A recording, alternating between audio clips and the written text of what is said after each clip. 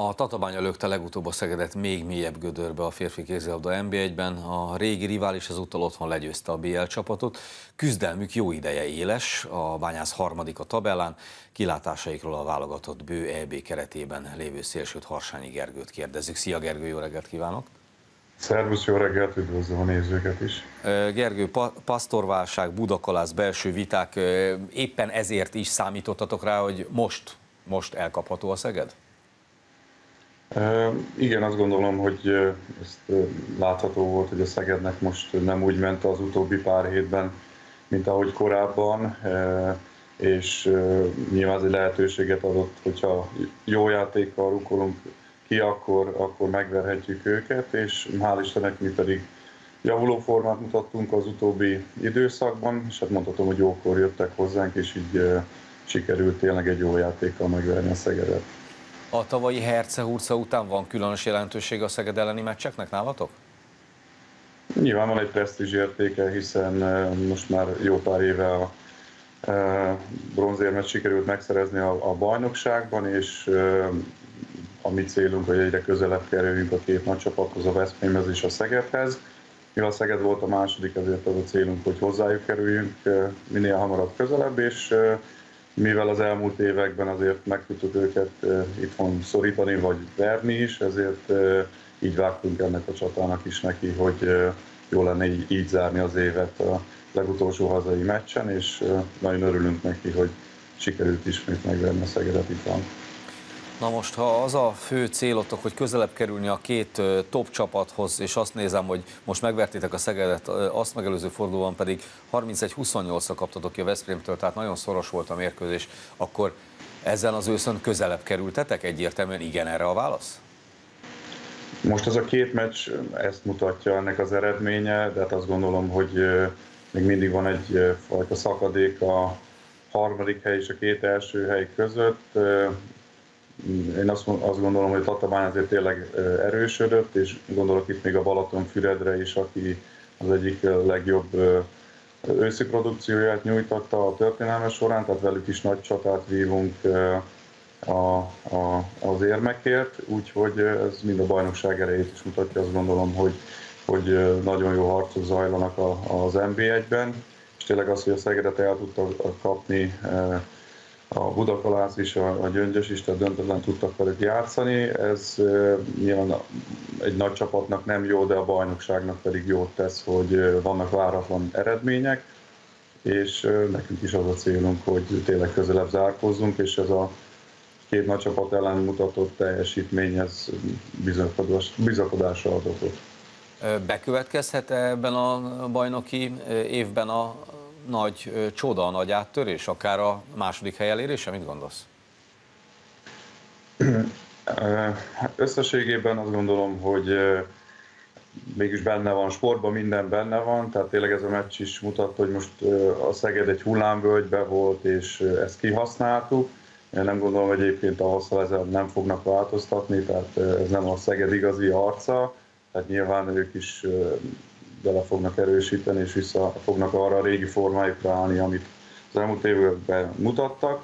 De benne volt meccs közben, hiszen vezetünk 4-5 góllal is, hogy ide, idegenben Szegeden kikaptunk három góllal, hogy akár 3-4 góllal van nyerünk, és akkor pontazorosság esetén ez előfordulhat. Tehát nagyon hosszú még a bajnokság, nekünk nincsenek könnyű mérkőzéseink, nem tudunk 15 góllal megverni csak úgy bárkit, tehát nekünk minden egyes pontért meg kell harcolni, épp úgy, ahogy tegnap például Komlón is, és elsősorban arra koncentrálunk, hogy ezeket a kötelező mércseinket hozzuk, és természetesen, hogyha a bajnokság vége felé közel állunk a, akár az ezüstéremért folytatott harcban is, ezért mindent meg fogunk tenni.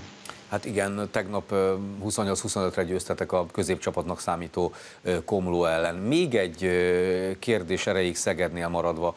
Ellenfélként testközelből, persze kívülről, hiszen nem náluk játszol, játszol. Milyen gondokat sejtesz Szegeden? Ez egy játékos lázadás lehet a spanyol tréner ellen?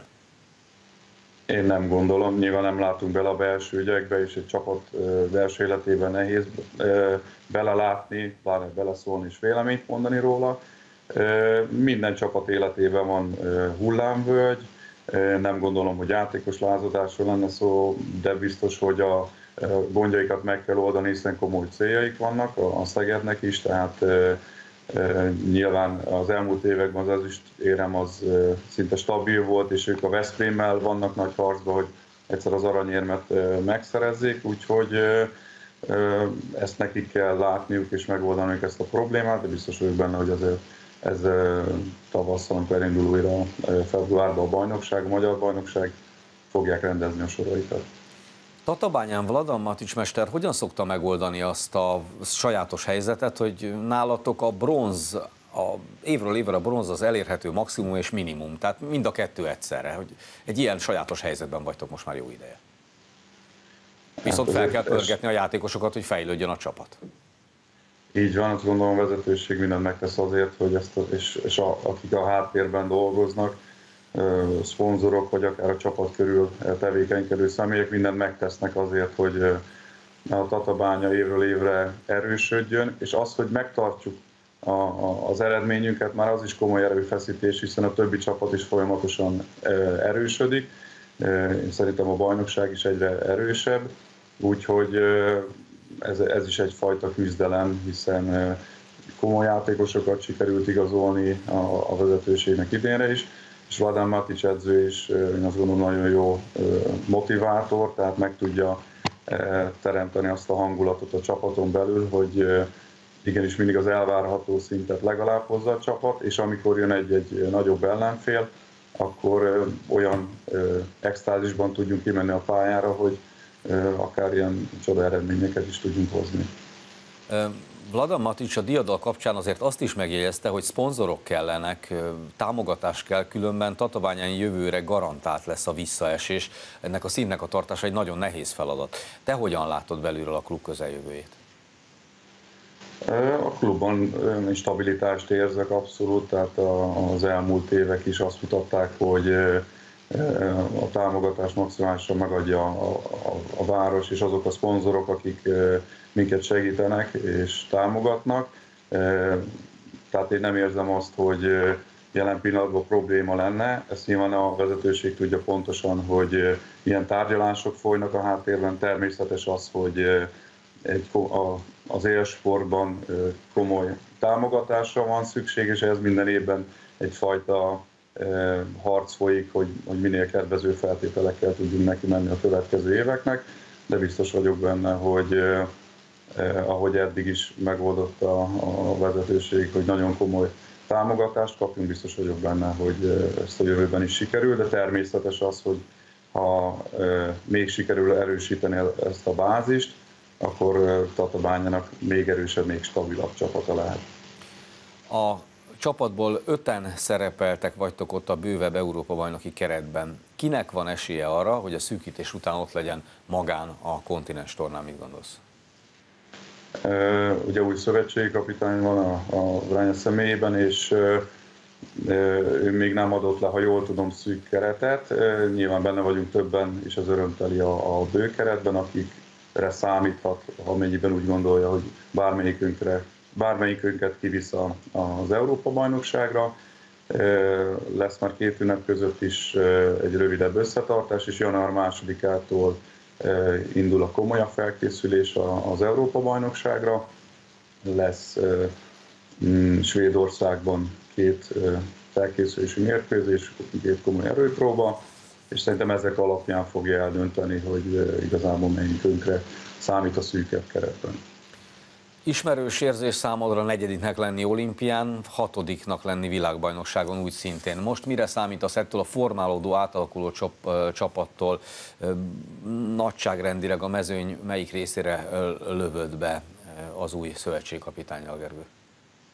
Nehéz megmondani, hogy mire lehetünk képesek, hiszen valóban egy formálódó és átalakuló keretről van szó, abból a szempontból is, hogy az elmúlt évek válogatottjai közül sokan lemondták eh, a válogatottságot, illetve eh, úgy döntöttek, hogy már eh, illetve a szövetségi kapitány is megpróbálja majd fiatalabbakkal is, tehát szerintem maga a csapat sem tudja még, hogy mire képes, de valóban az Európa-bajnokság ez, ez egy jó erőfelmérő lesz, hogy megnézzük, hogy hogy áll a magyar férfi kézilabda.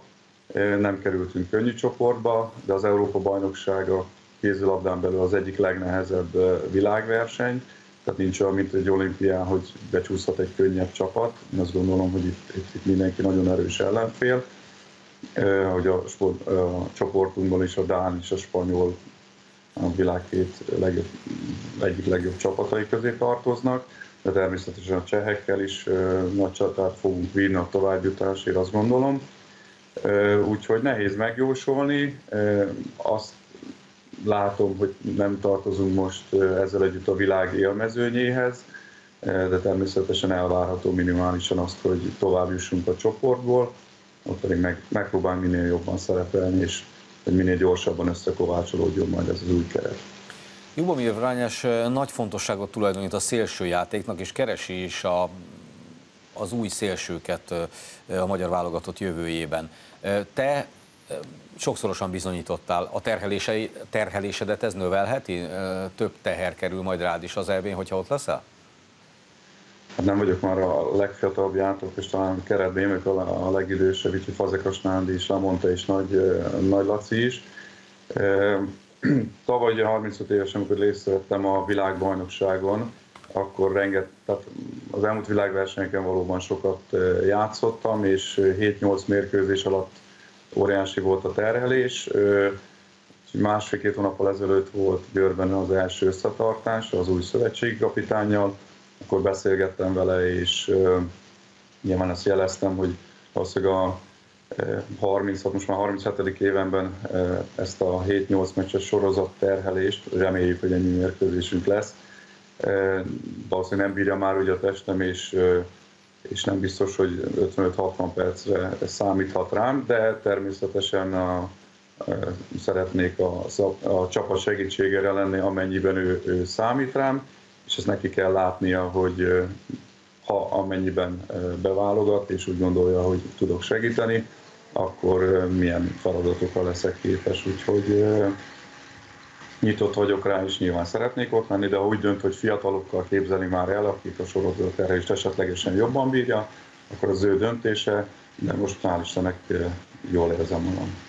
Gergő, köszönöm szépen, hogy velünk voltál. Szia! Nagyon szépen köszönöm, szervusz!